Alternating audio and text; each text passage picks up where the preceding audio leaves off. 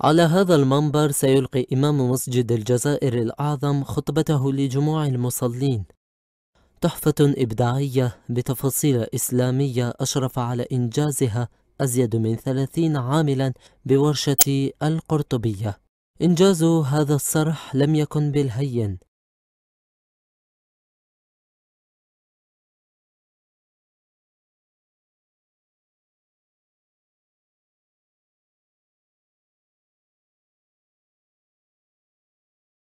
هنا بولاية المدية التقينا بصناعه ليرووا لنا قصة البداية.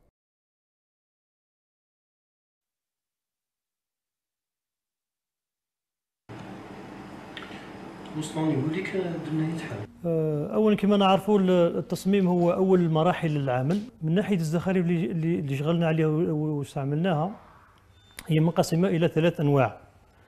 اولا الزخرفة الخطية آه، والزخرفة الهندسية والزخرفة النباتية. عمر بن قرطبي حرفي وضع عصارة 63 سنة من الخبرة والتجربة لإنجاز هذا العمل فحرص على كل كبيرة وصغيرة وأدق تفاصيل المنبر. 30 عام اللي تشاركوا بارك الله فيهم يعني كانوا كانوا في المستوى. تعرف ولا الوقت اللي كان تقريبا خمسة شهور. من التصميم تقطيع الخشب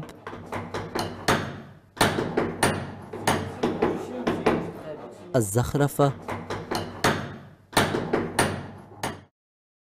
وصولا إلى التركيب. اشتغل هؤلاء العمال على مدار خمسة أشهر بكل عناية وتأني للوصول للنتيجة النهائية.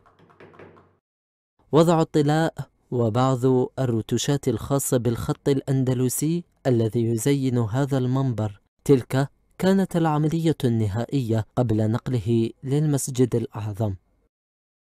التركيب قسمناه على خمس أجزاء.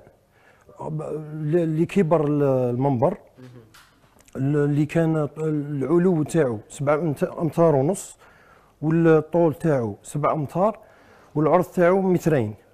يحب يقول آه، لازم في الشحن وفي ما نقدروش نديوها ما لا كان عندنا تحدي باش قسمناه لخمس أجزاء وكي كي يتركب ما يبانش باللي راه مقسوم.